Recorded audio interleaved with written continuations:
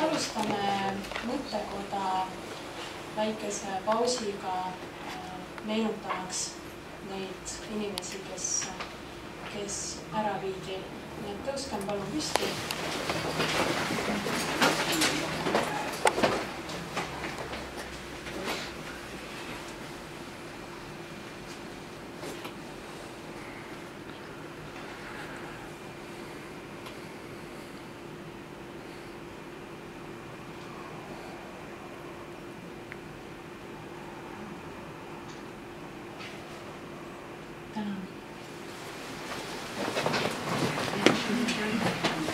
Ja meie kogunemise siin avab Martin Andreller okupatsioonide muuseumist.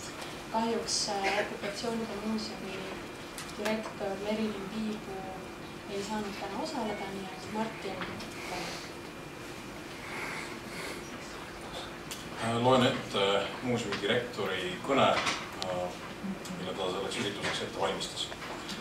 lugupeetud sõbrad, kahjuks ei saa ma olla teiega, sest jätan täna hüvasti oma suurima eeskuju ja parima sõbra Tudulinna vanaemale. meie ühiskonnas räägitakse palju noorte ja vanade inimeste lõhest, me lausa armastame vastandumist ja äärmuseid. seepärast tahan teile täna rääkida oma vanaemast, inimesest, kes andis mulle eluteele kaasa kõik väärtused, mida kannan inimesest, kes oli mu suurim inspiratsiooni ja rõõmu allikas. minu vanaema sündis tuhande üheksasaja kahekümne kolmandal aastal Virumaal. Tema silm nägi kahte küüditamist, ta seisis ise kaks korda püssi ees ning ta isa ja õde jäidki külmale maale. mu vanaema elu ei olnud kerge, aga ometi sai ta alati hakkama.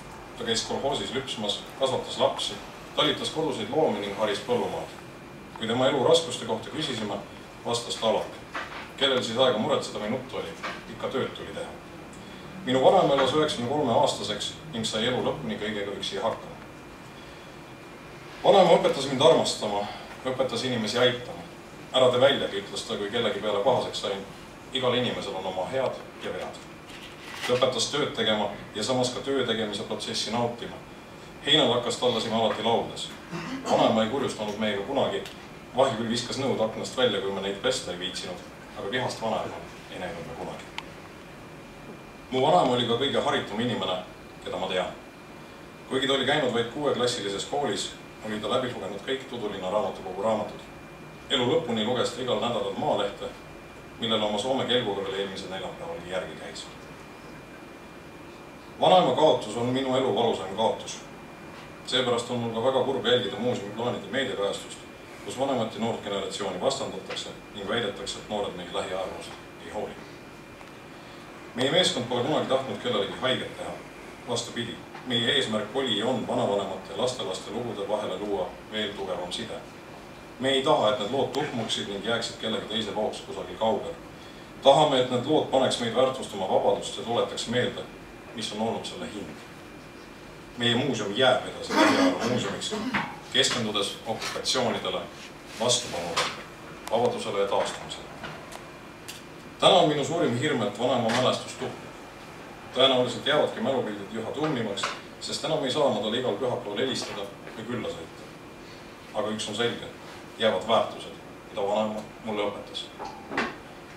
just neid samu väärtusi tahamegi me uue muuseumi kontseptsiooniga edasi kanda.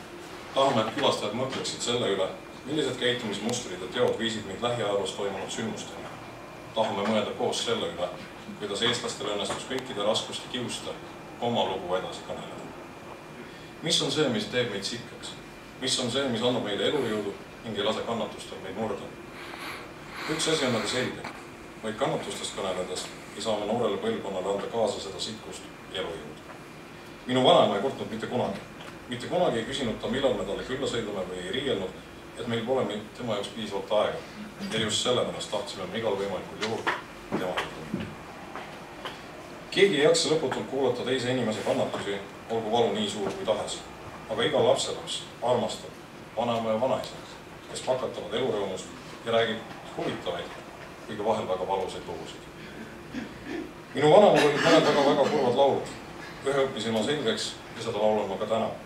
see laul kõneleb puusepast, kes valmistab oma naisele kirstu kirstu all mängib väike tütreke laastudega, lootes, et ema ärkab üles ja vaatab tema mängu. Aga seda väike tütrik veel ei taipa, et tema ei ärka.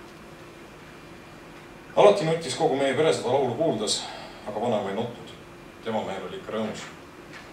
soovin, et ka teie mäletaksite täna kõiki neid vanaemasid ja vanaisasid, emasid ja isasid, kes meile vabaduse tõid.